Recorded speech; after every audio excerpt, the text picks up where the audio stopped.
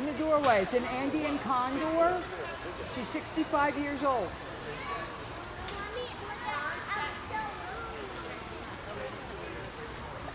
You're in the doorway?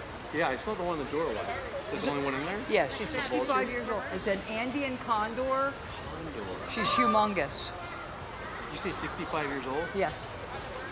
She just had cataract surgery last year. Her is his oldest grand. Yeah, she's older than I am. 65 year old condor, Molly.